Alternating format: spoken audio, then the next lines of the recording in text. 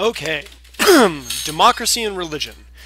This is the lecture that you should quote from if you want to alienate anyone you are on a first date with. Uh, politics, religion, um, sexual orientation may come up uh, given the debates about gay marriage. Who knows? It's all sorts of things you can't talk about at polite dinner parties. Let's jump in. So, the big issue really is what to do about the interface, the interaction, um, sometimes the confrontation, sometimes the connection between democracy and religion, and between the demands of the values that both inculcate. And initially, especially I think especially if you're coming from an American background, from a US background, initially it might seem that this is mostly a conflict. This is mostly a problem. For a few reasons. Democracy fundamentally is supposed to be about people governing themselves, people creating their own rules, their own reasons, and living by only the things they've chosen for themselves. Religion is all about transcendent values. Religion is specifically about the things that are, at least in most of its traditional forms, religion is about things that are beyond this world beyond human choice, uh, beyond the agreements that we make with each other. Uh, this might actually be a good point for, uh, for a little bit of an aside. Throughout this, I'm going to be talking about religion very generally. And of course, religion comes in lots and lots of forms. The kinds of religions that have most bothered folks in the democratic and political philosophy tradition, given that lots of the folks that we're talking about are from Western cultures, they tend to be the um, more traditional, theistic, metaphysical, straightforward, often Judeo Christian um, religions, or Abrahamic religions, I guess. Nussbaum, of course, talks a bit about Hinduism. Uh, certainly, there's a long tradition that I am utterly ignorant of in Chinese political thought uh, about Confucianism. Um, other kinds of religions influence folks. Uh, and there's a wide variety even within the way that people within sort of the religions that are the mainstream religions around here think of religion. Um, I worked, for instance, for a professor. I promise the story is at least marginally relevant. I worked, for instance, for a professor once when I was in graduate school who was known to be a devout Catholic. Um, in fact, was quite popular among the conservative Catholic students. They would get directed to his class since he had high teaching recommendations and was sort of openly religious. But if you asked him about religion, if you asked him what he meant when he said that he believed strongly in the resurrection of Christ and this sort of thing, it turned out that what he meant was not quite what a lot of Christians meant. You know, he would he was a student of Derrida, um, and you know he would tell you these stories about how religion is about making a fundamental existential choice about whether the universe makes sense or doesn't make sense, and it's all about the metaphors that we choose to organize our experience as limited beings and this sort of thing right? This is very different from the famous Christian philosopher Peter van Inwagen, who was reported to have been at a conference of uh, Christian philosophers, and after hearing many postmodernist, Derrida influenced, it's all about the metaphor that you use to organize your life kind of presentations, stood up to give his talk and uh, is, is said to have said, Look, I've been hearing a lot of stuff this weekend, and um, I don't understand a lot of it. When I say that I'm a Christian, I believe that if you set up a video camera outside the tomb, you would see Jesus roll the rock away and walk out. So even within religion, there's a wide variety of things, and of necessity, some of the things that I will say will not apply to every possible variety of religion there might be. All right, so caveat aside. Point one democracy is about people governing themselves. Religion, in many of its forms, is fundamentally about people being governed by things outside of themselves. Democracy, as we talk about in the citizenship lecture, is, at least on many conceptions of it, about a system in which people make decisions based on giving reasons for their choices that everyone in the polity can understand and share. When you're engaged in a democracy, for a lot of thinkers, an important part of what you should be doing is appealing to your co-nationals on a level that they can accept, giving them reasons that make sense to them. But religious reasons, at least for a lot of religions, are often available only to believers. They're based on revelation sometimes. They're based on direct spiritual experience. They may be based on the authority of religious leaders. This is the sort of problem where, for instance, if you are a Catholic, at least if you're a sort of traditional, straightforward Catholic, you consider the authority of the Pope on religious matters, not on everything, on religious matters, the authority of the Pope is absolute. The Pope says that it's true on religious matters. I, as a non Catholic, have no particular reason to believe that. I don't take the Pope said it as any kind of reason to believe anything, religious or not. Um, religious reasons are often fundamentally inaccessible to non believers. Um, Christianity, of course, is not the only religion that has this kind, has this kind of feature. I mean, um, many religions have either things that you are expected to believe because they are in canonical books or canonical stories, or have some kind of direct contact with the divine as an important part of this. It's as true of, you know, transcendental neo-pagan yoga as it is of Christianity. Not all are like this, but it's an important part of many of them. And related to these two, democracy is often thought of by its defenders as fundamentally being about personal liberty. Democracy is a system of government that many people consider to be set up fundamentally to protect your ability to live your life the way that you want. And at least in its liberal incarnations, um, which is many of them, uh, part of the idea is often that no one is in a position to tell you what the good life is better than you are. But of course, most religions, many religions, uh, believe in an absolute truth. Religion is often about there being a single kind of life that is good for human beings. Um, it's not just a system that says, well, you know, we're here to try to let you live whatever kind of life that you want. All right, so that's kind of the the the core of the apparent confrontation or tension between religion and democracy. Democracy is about self-governance, public reason, and personal freedom. Religion is very often about some form of transcendent, transcendental governance, parochial, restricted reasons, and submission to absolute truth. But, of course, there's a but. This would be a very boring discussion if there wasn't a but. Democracy isn't just about doing whatever the majority of people want, right? This is why we have the whole discussion of citizenship, and of this is why we have a constitution in the U.S. This is why other countries have basic laws. Democracies also have fundamental values. Slide says constitutional, read it with a small c. Not every place has a constitution, but most democracies have some kind of core protected values.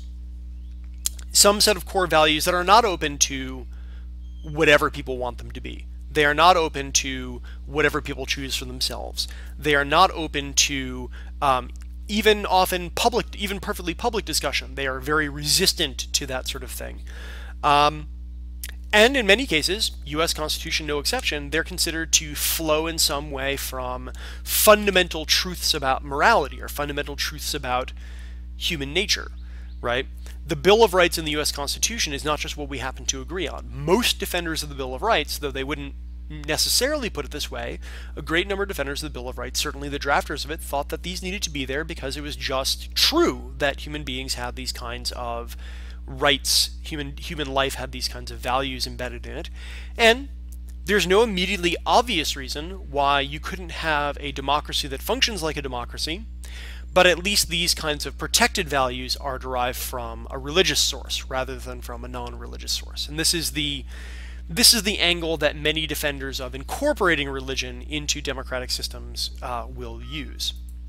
All right, so there's at least three basic kinds of approaches that polities can take to try to reconcile the presence of religion, the religiosity of individuals in the system, um, with the democratic values of the system itself. Uh, don't waste too much time worrying about the jargon. This is me trying to slap a label on three very broad families of approaches. And of course, remember that in terms of specific policy, there's lots of lots of variations on these, but there are three kind of 60,000 foot overview approaches to the issue. So the first one is separation of church and state. Um, this is an American term. I believe it comes from Jefferson originally. Um, we can argue about whether or not this was the original intent of the framers of the Constitution, uh, but this is de facto at least basically the strategy that the U.S. has pursued and other countries um, pursue this kind of strategy as well. Pardon me. So, if you have a separation of church and state strategy, uh, what you do is you have the state. The state has no official religion. The state does not establish an official religion, um, and it does its darndest not to favor any religion over another. And often, uh, certainly in the U.S., uh, this is considered part of it, not to favor religiousness over non-religiousness um, or or anything like that. Um, political decisions, when you have separation, are not to be made on a religious basis. Uh, this can be tricky because, on the one hand, the idea is that you want political decisions to be made separately from religion so that they don't represent the dominance of one religion over another. On the other hand, in most separation style democracies, it's not necessarily a problem for, say, an individual legislator to make a decision on a religious basis, as long as they do it within the democratic forms. This is often a very gray area. Um, things get even grayer when you talk about something like, well, what if an individual legislator legislator makes a decision based on the sanctity of human life? The idea that human life is especially morally important looks like a public kind of reason. It looks like the kind of reason that people from a variety of different religious traditions could at least understand and accept as a meaningful reason, even if they don't agree with the way it's being used. But the individual might believe in the sanctity of human, of human life because of their religious beliefs. So it can be really fuzzy what we mean to say that they're not made on a religious basis. And then, of course, in most democracies, individual voters are under no obligation whatsoever to give any sort of reasons for uh, for their decisions. So, if I go into the polling booth and vote for the person who shares my religion uh, because they share my religion, as long as they then go and act as a, uh, a responsible legislator, it's not clear whether or not I've done anything wrong. Some kinds of citizenship theorists will say that I have, because everyone ought to operate on the basis of public reasons. But that's not actually the way most people regard it in um, in contemporary democracies, right? Most people in the United States, for instance, don't think that it's wrong. It's inherently wrong for someone to vote for somebody based on religious reasons. Um, even even folks who are worried about people who are who are the representatives acting directly from religious religious reasons. So part of what's actually really messy in general about the separation of church and state strategy is that it's frankly it's really hard to separate them. Um, it's really hard to tell people whether they're voters or legislators or presidents or whoever that okay when you enter the public sphere you turn off the religious part of things. Um, people would typically be influenced by it even if they're not directly drawing on it. Um, and so there's inevitably going to be lots of arguments about how much influence is too much and that sort of thing. Okay, an important correlate of this. So the flip side of religion staying out of the public sphere in a separation of church and state model is that religion is given fairly free rein within the private sphere. So one thing, just as a note, keep in mind, the separation strategy requires a pretty strong division between the public and private spheres. You need both uh, in order to make this work, and you need it to be a, a relatively impermeable barrier. Uh, and some of the things that we've we've talked about with respect to critiques of the public-private dis distinction apply to this as well. If you if it's if you can't make a public-private distinction, making a separation of church and strategy, separation of church and state strategy work is going to be difficult at best. Um, but within that private sphere, generally speaking, in the separation model, individuals have as close to unlimited religious freedom as possible. You can have whatever religion you want. You can get together. You can practice your religion. Um, there are no laws saying you can't. Um, the government is expected to, as far as possible, not place any burdens on your practice of the of, of your own religion. Um, that sort of thing. Can't be social discrimination against you based on the uh, on your religion. Um, these are all things that are part of this, the separation strategy. However, one thing to keep in mind is that in most countries that follow this, um, and this can be problematic, but in most countries that follow this, is often understood that laws of general applicability may still trump freedom of religion.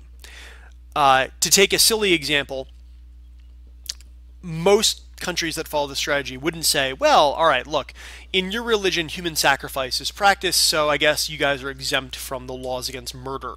Um, most most countries and most people think it's reasonable would say, no, no, no, all right, the laws against murder, murder are of general applicability. It doesn't matter if your religion says it's okay to murder, you can't do it.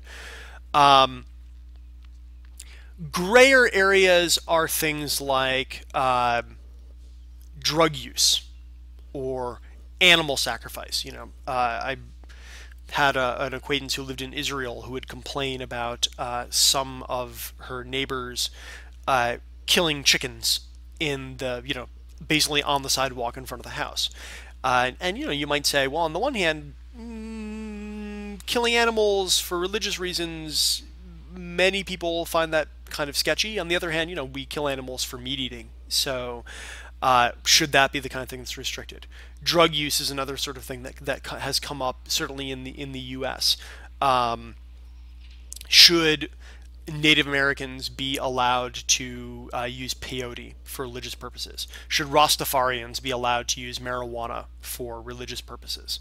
Uh, so there are questions about and this again is sort of the, the other side of the messiness of the public private divide. If I am using drugs for religious purposes in my own home, is that something that should be part of the private sphere that's protected as part of religious freedom? Or is drug use inherently a public problem and so regulated and, you know, something that religious reasons should not get involved with? All right. A different way of going is a kind of aggressive secularism. Um, this is a kind of strategy where you don't just separate out religion from politics, but allow religion to flourish on its own turf, but you actually try to control or even to some extent suppress religion or some kinds of religion even in the private sphere. Some states uh, pursue this explicitly. Uh, Turkey has a explicitly secularist policy. Uh, it's actually been interesting to see how it evolves. Uh, Turkey, of course, has, has long been a predominantly Muslim country, though uh, Ataturk, who founded modern Turkey and the army, see themselves as the guarantors of the secularism of the state. Uh, and there's been interesting evolution and confrontation over that. it's implicitly followed by some other states. So, for instance, France. Uh, it's not as if in France religion is extirpated, but Fran France has policies that would likely raise hackles as violations of freedom of religion in the U.S. Uh, they they they consider it a legitimate policy position to promote a kind of secularism, not just to keep hands off of religious uh, religious issues. So, in most secular states like this, at least the modern ones, the contemporary ones, religion's not usually legally restricted. It's usually not a, a, matter of saying that you can't practice your religion, but the state itself is oriented towards inculcating secular values. So there's not a pure freedom of religion involved, the way that the separation strategy aspires to. Often, uh, this is one of the, the, the, main ways that it manifests. Uh, used to manifest this way in, in Turkey, though there's been re- relaxation of that. Uh, political parties with a religious bent will be banned or discouraged. Um, and certain kinds of displays of religion may be restricted. So, for instance, the headscarf bans in uh, in France. So, there have historically been states that have been even more aggressively restrictive than this. Uh, my under- again, I'm ignorant of China. My understanding is that China has been softening its stance, but China um, has pursued more aggressively secularist uh, positions against, uh, at least against some religious groups. Uh, the Soviet Union was quite aggressively secularist. Nowadays, um, countries that follow a line like this tend to be a lot less aggressive in their aggressive secularism, but it's still a difference. The difference between this and the separation strategy, even though nowadays you won't likely find heavy restrictions in either place, is that secularist countries take it to be a legitimate purpose of the state to promote secular values uh, in the state in a way that separation states don't um, for a separation of church and state strategy, secular values, like religious values, are one more position that is neither to be promoted nor to be suppressed uh, in the state. And then on the other end of the spectrum, you've got a third approach, which you might call uh, religious constitutionalism. Despite the infamous secularism of Europe, uh, this is actually a fairly common approach in Europe, the UK uh, being one example, and it is often presented as an approach that is especially favorable for states with large Islamic populations that, that want to be democracies. So this is basically the approach that is being pursued with U.S. support in Iraq and Afghanistan right now. So if you've got a religious constitutionalist order, uh, Iran would probably also count as a kind of religious constitutionalism. Um, if you have a religious constitutionalist order, it's sort of what it sounds like. You have religious values embedded into the constitutional structure of a democracy. So, as I said before, most democracies take it that there is some bedrock of principles, values, rights, laws, procedures, whatever, that are not subject to direct or at least easy direct democratic majoritarian control. They structure the system. Religious constitutionalist orders try to square the circle of combining religion and democracy by embedding religious values directly into the constitutional structure, whether it be a, a, constitution or a basic law or whatever. So, in these kinds of orders, you have an established religion alongside democratic government. So, like in Iran, you have the ayatollahs and then you have the elected government. In Iraq and Afghanistan, the system that's developing is one where you have um, an establishment of Sharia law as a source of law alongside a democratic legislature and those sorts of forms that are more familiar to Western forms of law. In these kinds of systems, religious values may be openly used to constrain or shape legislation. Typically, um, the invocation of religious values by a leader is no big deal. Um, and there may even be procedures or structures in place by which legislation passed through the democratic method is subject to religious constraint or religious review. Um, Iran, to the best of my understanding, has a fairly robust version of this. Iraq and Afghanistan have a lesser one. Um, many European countries, I believe, have this sort of on the books, though it's not typically used uh, anymore. But the idea is that the same way that the Supreme Court in the United States could say that, you know, the individual insurance mandate is invalid because it's unconstitutional, in a state that follows a, uh, a, a, uh, strategy of religious constitutionalism, you might say that some other piece of legislation is invalid because it violates religious values. It violates Sharia law, or it violates church canon, or whatever the relevant uh, religious code is. Um, so, similar kind of system. And the ideal would be that in the same way that a country like the United States tries to strike a balance between giving the people what they want through the legislature and protecting fundamental values through the Supreme Court, a religious constitutionalist order would try to strike a balance between the democratic elements of the system and maintaining the core religious values built into the system itself. A couple things to note about this. One is that, again, at least in its contemporary forms, most states that follow this strategy typically are not terribly interested in stamping out all other religions. There are, of course, um, issues with this. Baha'i in Iran um, uh, make credible claims of being persecuted. Uh, it may be less comfortable to be a Christian or a Jew in a country that is uh, bound by Sharia law or a Muslim in a country that's bound by Christian law.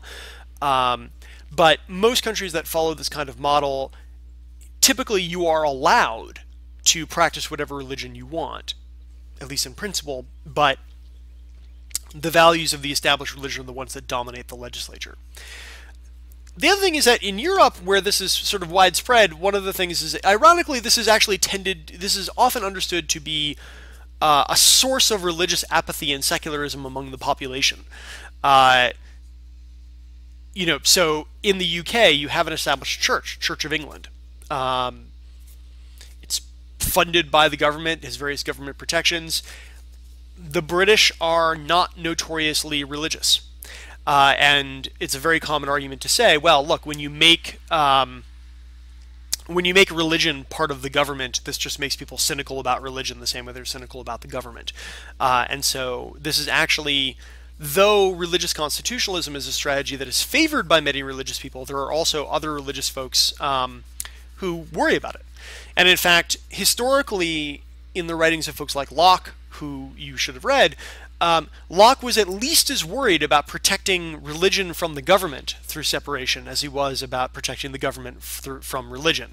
Uh, so there is a, um, the separation theory is separation strategies are driven often in part by a fear of contaminating religion and the secular trend of, of the European religious constitutional orders uh, is, you know, it, it's evidence in favor of that kind of concern. All right. One of the, the big issues that comes up with this is why anyone would favor freedom of conscience. This might seem a little bit weird from an American uh, context where we take freedom of conscience and freedom of religion to be a fundamental sort of thing. But remember, back at the beginning, we said one of the issues was that religion makes claims to absolute truth.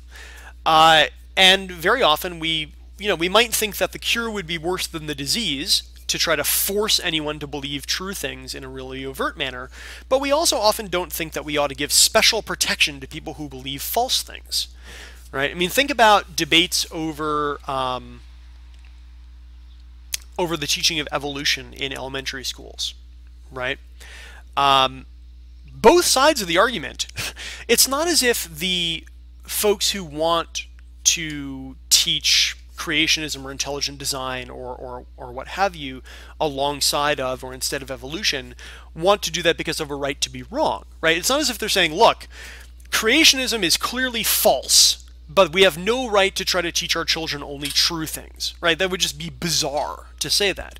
So in general, we don't we we don't in general think that people have a right to believe false things um, at least in a strong way, right? You don't put a gun to their head and make them believe something true, but we don't in general believe that the government should protect their false beliefs or teach false beliefs along with true ones in the school and that sort of thing. So, you know, why freedom of, of conscience about religion? Presumably, unless you are the postmodernist, Derridian uh, religious relativist, presumably religion is either true or false, right? Either when I die, I'm going to have to answer for my sins before the judgment of Ma'at in the underworld, or, you know, my, my copy of the Egyptian Book of the Dead was a waste of $10, right? Either um, this world is all there is, and when we die, we turn into dust, or Christ is risen and we will all live forever through him, right? One of the, at most one of these things is true. So why is it that religion is is is special? It can't just be that there's disagreement on it. Because there's disagreement about a lot of things, right? There's disagreement about science, there's disagreement about economics. Um, and again, normally all we think is that this means that you shouldn't force anyone to believe something right? You shouldn't put a gun to their head and make them do it. But we don't think that this justifies the kind of approach that the US and a lot of other countries follow towards religion, where we say where we actively protect and promote people's ability to believe in a plurality of religious views, you know, and non-religious ones. Um, so, why freedom of conscience? There's a couple of reasons one is that even for the religious folks, and you see this very heavily in Locke, um, even though it's something that's not talked about as much in the modern debates, coerced religion is inauthentic and worthless. So, for a lot of religious thinkers, um, proselytizing, trying to convince you, trying to give you reasons to follow the religion, that's all great. But anything where state power would certainly if it would force you to follow a religion or even where it would make you make it massively inconvenient for you to follow a different religion this actually threatens the, the, the, the, the authenticity of religious experience. Not all religions worry about this the same way, but certainly, for instance, um, the Abrahamic religions, especially Christianity and Islam, that are evangelical religions, worry about this sort of thing. Judaism doesn't really seek converts, so it's got a different traditional attitude. But um, typically, at least for, for most of Christian theology, for instance, it, it doesn't count if someone is only going to church because they have to go to church to get social services, or if they don't go to church, you know, they get fired from their job or whatever. That doesn't count. The other side of it is that um, religion, and this is something that Nussbaum thinks that liberal thinkers don't often pay enough attention to. Nussbaum counts herself as a liberal, but she thinks that often people who share her basic liberal approach don't pay enough attention to this, is that religion's a significant source of value in people's lives. It just is the case that for most religious people, re the religion they follow shapes their life and their identity in a way that, for instance, um, the economic theory that I believe in doesn't for almost anyone who has an economic theory they believe in, right?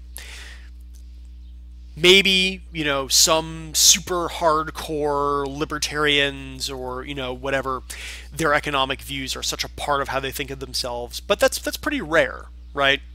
Um, Keynesian Keynesian economists versus you know Freiburg school economists. Typically, you know, this doesn't play the same role in their lives that religion plays in people's lives. Um, similarly, for lots of other things that people disagree on. So it is often thought that even if it is the case that at most one religious view can be true, and the state in general has no particular reason to support people's ability, you know, right to be in error. Religion's special because of the special role that it plays in people's lives, because it's so important to people's self-identity and to and to their lives being meaningful. Um, and here it stands alongside certain other kinds of things that, that we that we often think of in this way. So, at least in the U.S., we often think of marriage or the choice to have children as playing a similar kind of role that needs to be protected. Um, a plurality of views on it, a plurality of models um, need to be protected. Or alternatively, right, um, this is exactly the same reason why some people who think that there should not be a plurality of models of religion that are acceptable um, are so invested in there not being, right? Um, people who want Christianity, for instance, to be given a special status in American politics that Hinduism or Rastafarianism or Raelianism or Judaism or whatever doesn't have. It's simply because of how important it is to people's self identities and building their lives that they want to do this. All right, of course, there's a but. Um, one is that freedom of conscience, an, an important part of so part of the reason you want to have freedom of conscience is to allow people to have these religious identities that often involve religious community uh, that give shape and meaning to people's lives. But in its strongest form, an important part of freedom of conscience is the freedom to leave a religious community, right? So, um, the way that we understand this, for instance, in the United States and in a lot of places that have similar models, it freedom of conscience doesn't just mean that the state will not pass a law saying you can't be a Mormon or whatever, right?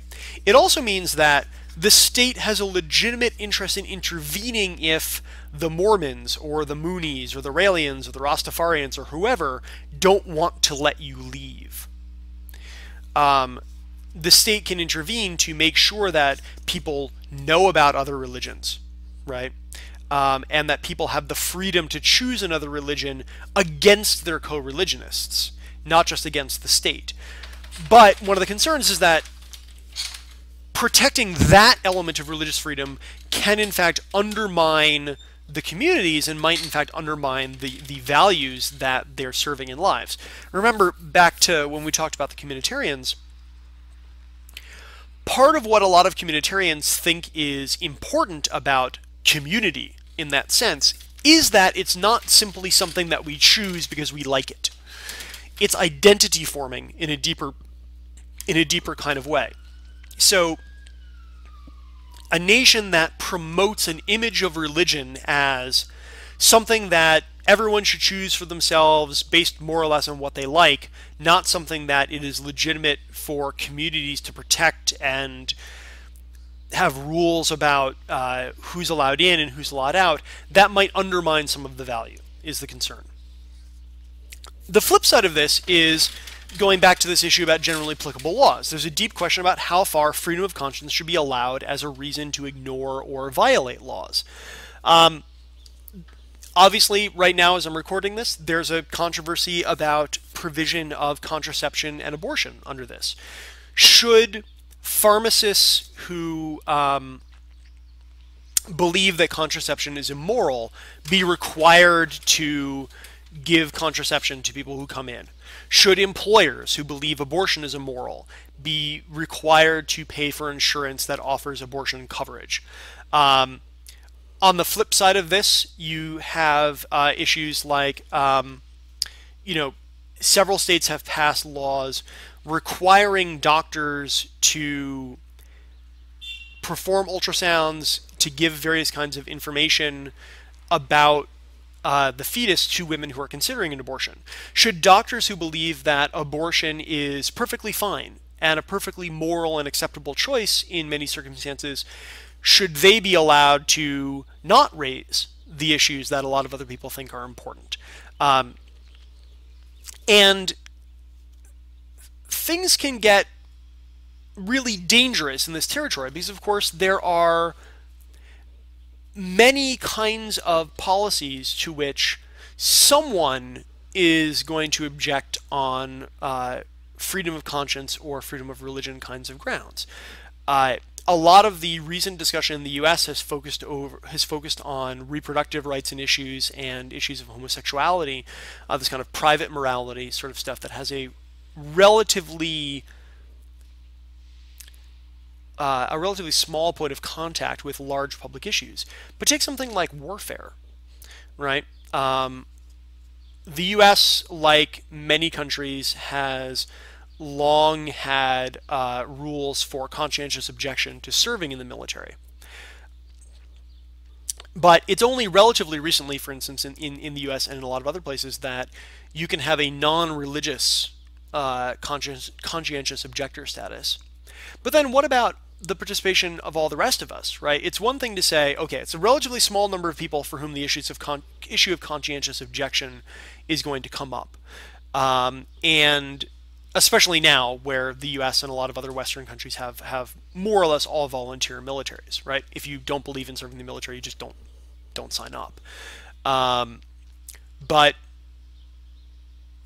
if I object to some war that the U.S. is fighting, well, my tax money still goes to it.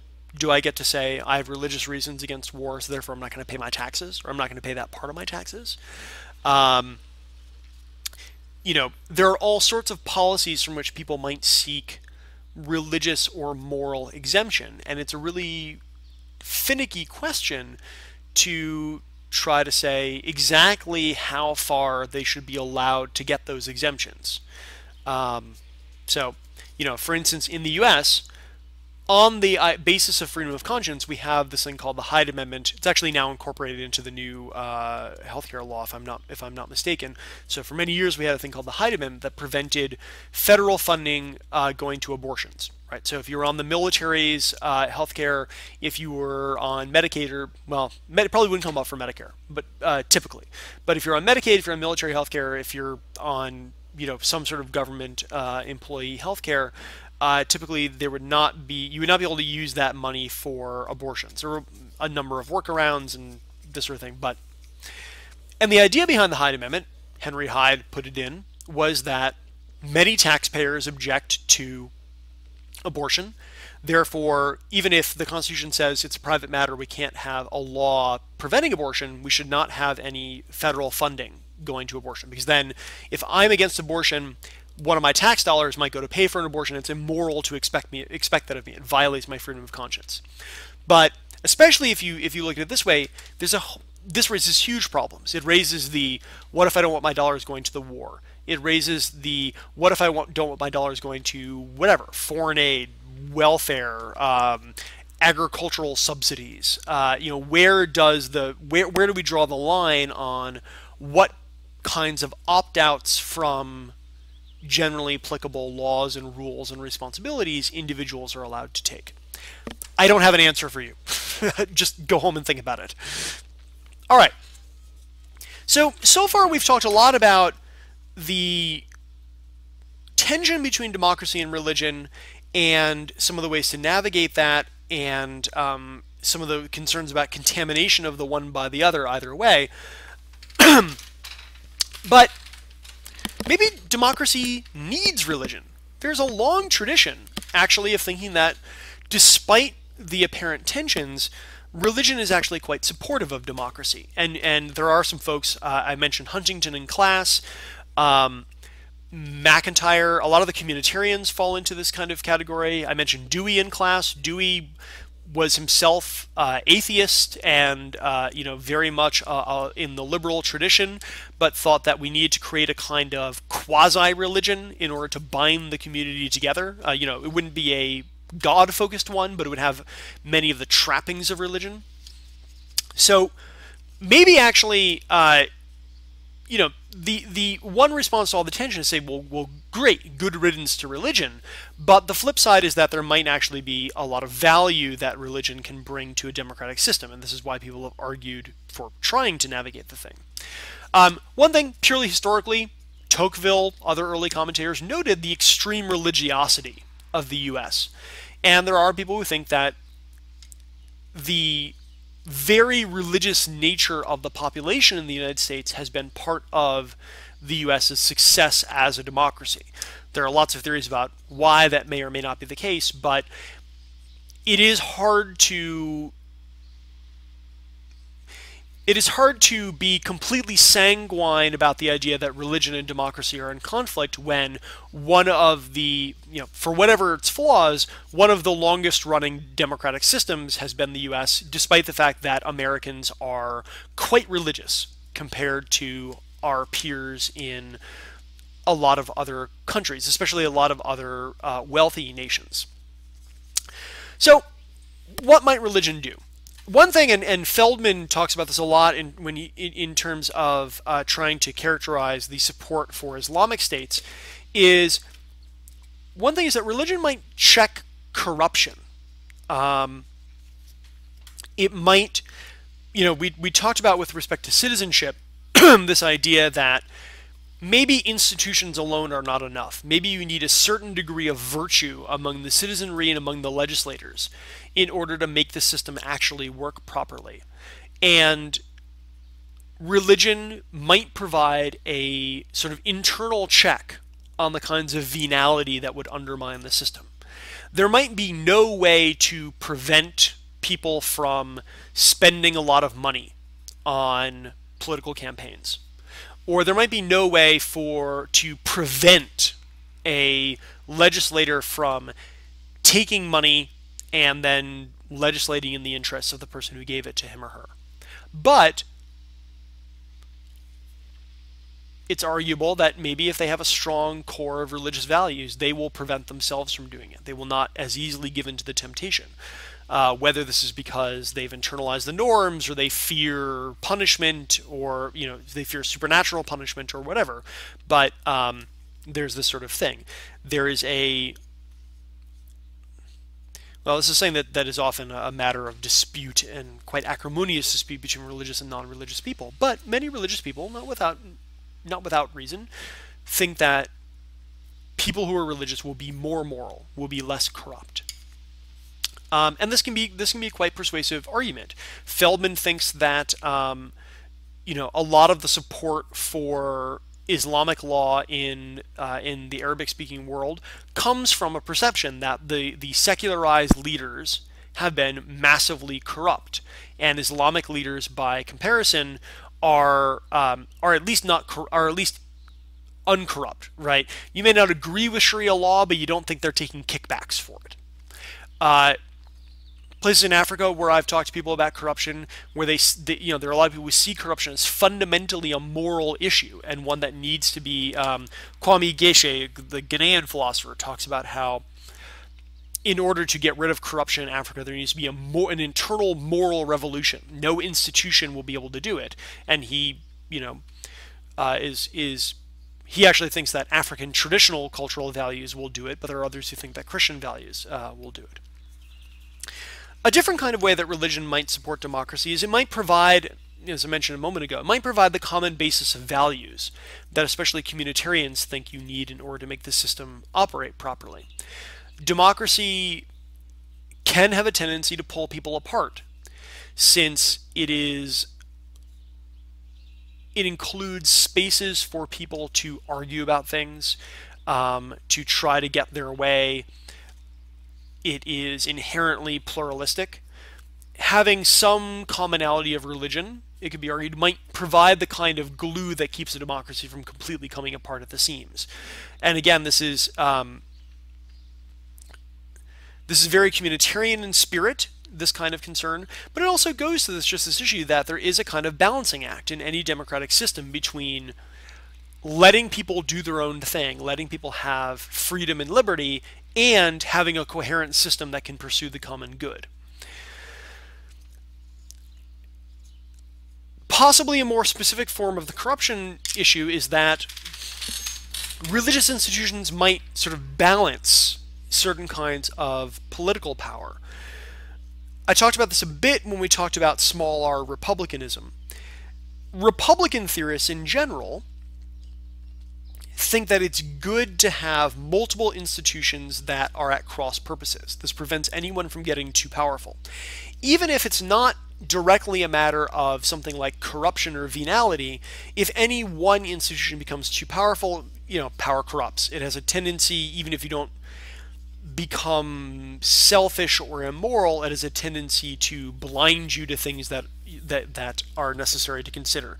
Uh, concentrating power has a tendency to um, allow groups to become tyrannical uh, just because there's no one who has an alternate perspective that can that can that can drive it home. So religious institutions might be this kind of balance in some cases. Uh, again, this is something that Feldman claims is a driver behind the kind of new Islamic State model. And one thing he talks about is that in a lot of is a lot of the heavily Islamic countries, in part actually because of the history of, of fairly authoritarian regimes. So nothing directly to do with Islam in those countries, more to do with, with their post-colonial history. There isn't a well-developed civil society the way that there is in the U.S. These things are emerging, but you know, authoritarian regimes didn't encourage the development of um, gr organized groups that were, even if not opposed, that were just sort of outside of the government's scope. And religious organizations have often been an exception to that. And as a result, um, religious organizations are often centers of criticism, opposition, resistance, questioning of governmental power. And they might do well in that form. Even in the US, we have a you know we where we have a well-developed civil society, there's a strong strand of focus on specifically religious civil society. So Bush era Office of Faith Based Initiatives. There's a general positive attitude in the US towards all sorts of religious groups as part of civil society, often with an explicit spin of these being an alternative to government. Even if not directly in opposition, a sort of counterbalance, a different source of power than the government. Um, so, you know, you'll have many conservatives who may not be huge fans of the government giving money to the poor, who are supportive of things like church soup kitchens, uh, providing services to the poor. Uh, and the idea would be that you want to have other ways for people to get the things they need besides being dependent on be, being dependent on the government. So religious organizations are often seen as fulfilling this sort of role. And even though a lot of this could be done in principle by secular organizations, there are a lot of folks that think religious organizations are likely to be more stable, more cohesive, precisely because they provide a kind of identity constituting function that secular organizations don't, right? And there's some empirical evidence that this may very well be true right? It's really hard to get people to be as invested in whatever, you know, Amnesty International or your local bowling league or your community organization as people are in their churches.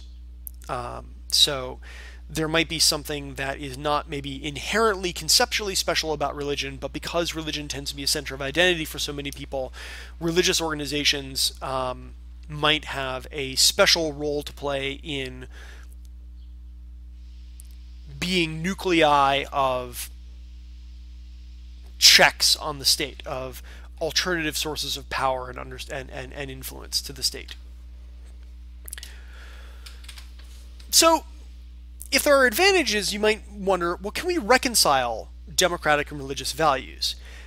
In some sense, the three strategies I outlined towards the beginning are versions of this, but there might be, uh, those are really ways of trying to organize society, given that religion and democracy are understood as, as somewhat separate, there might be ways of reconciling things on a deeper level, and some theorists have tried to think this through. So one option, and this is a kind of separation theory, though it's it's a little bit different than the way we do it here. One option is to give religion sway in some private sphere of policy. So in the US, for instance, the main way we give this sway is in the purely private sphere, personal associations. But there might be other ways of expanding it into the more public realm while still keeping it in kind of its own proper sphere. This is the way that India deals with um, at least some of its religions that, that Nussbaum is describing. So in India, there is public law that governs most things, but then for family law,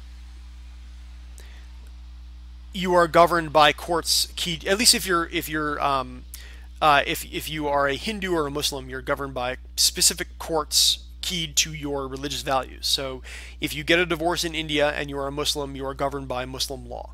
If you commit a murder in India, you're governed by general law. But within the sphere of family law, there's a special role for religious law. We might give religion a special role in education, right? Uh, right now in the U.S., we we are a little bit ambiguous on this, but lots of folks who don't otherwise really want to see a big public role for religion don't see a problem with um, government funds going to parochial schools, right, through something like a voucher system. Uh, or even with allowing people to opt their children out of public school for religious schools, because education is, is seen as an area where religion might have a more legitimate role to play than in some other areas of life. So, one way is either through a sort of full blooded separation theory um, where you keep re- religion out of anything public, or through a more mixed system like India's, give religion its own proper sphere to say some things are Caesar's and some things are not. Um, religion has its own turf to play on. A different way, or a different aspect, really, uh, that we, we've talked about already is part of the, often part of the separation thing, which is allow religious exceptions to some laws. And here you get the which ones question. And we probably should talk about that in class because it's a big question. One that's interesting, and this is Nussbaum's suggestion, is that we keep religion, but we interpret religions in accord with public reason. So Nussbaum has this really interesting discussion where she says, well, look, maybe the best way to understand it is to say, none of us know exactly what was in the mind of God, or, you know, whatever God analog is in your religion. But we know that we're not getting that directly, typically. Some of you may be prophets, I don't know. But most of us are not getting that directly. We're getting it through various things that have been transcribed by humans and this sort of thing. Um, so Nussbaum says we should maybe say our best guess as to what God wants out of us is our best guess as to morality. So if there's anything in the texts or in the statements of religious leaders that seems to go against morality as we best understand it, we should assume that God got it right and the texts got it wrong.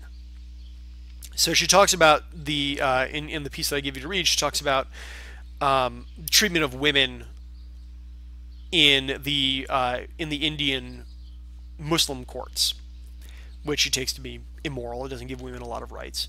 And what she basically wants to say is, look, we should look at these things and say, clearly God doesn't hate women because we, we, you know, we understand through our public reason that uh, there's no reason they should be inferior.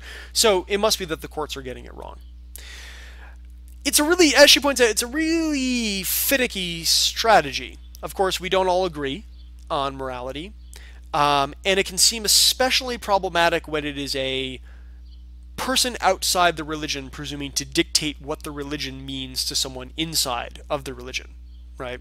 So it might be one thing if you're if you are a Christian, it might be one thing for someone who is also a Christian and shares shares your religious uh, community to come up to you and say, "Look, I actually don't think that homosexuality is prohibited by Christianity, and you know, let me tell you why. Let me tell you about the parts of the scriptures that I don't think support this, or the parts of the scripture that I think that are are, are being misinterpreted or were inserted by people but don't reflect what what God wanted or whatever right? It be it for a lot of people be a very different thing for me a non-christian to come up to you and say look I don't think Christianity really bans homosexuality because I you know I think you're I think you are getting your religion wrong it's a very different dynamic and especially if we're going to incorporate this into policy it's hard to escape that dynamic but it's an interesting kind of strategy to basically say that um, we ought to interpret religion in terms of our best public ideas about morality rather than uh, make it a constraint on our best public ideas about morality. And it might be, if it worked, it might be a very deep way of being able to reconcile uh, democratic values with, with religious ones. If you believe that democracy is, in at least some form of democracy, is the morally best way of running uh, a government, you can say, it can't possibly be in a, be in conflict with religion because God would want us to run the government in the morally best way. So if he seems to, if anywhere in the text God seems to be saying that that democracy is not good, we must be getting the text wrong. All right. I'm losing my voice, which means that it is time to sum this up. So, basic issues. Religious values and democratic values often seem to be in tension. But they may also be mutually supportive, so it may be worth trying to resolve that tension. There are a number of different ways people have taken uh, in terms of designing polities to try to resolve that tension. It's often an ever evolving uh, mutual accommodation. Uh, I've laid out what I take to be three kinds of families of approach separation, secularism, and religious constitutionalism. Um, there's lots of variations on this, and there's plenty of room for argument about who's how exactly we should understand things. Um, and for you guys, one of the big issues, the most pressing issues for policy, is that it's hard to draw the right line around protecting religious freedom on the one hand and passing laws that are in the general interest on the other. Because the bottom line is that the private sphere and the public sphere are often very close to each other. Um, and people's religious views don't apply nicely and neatly only to the parts that you want to consider private when you're passing when you're passing your policies.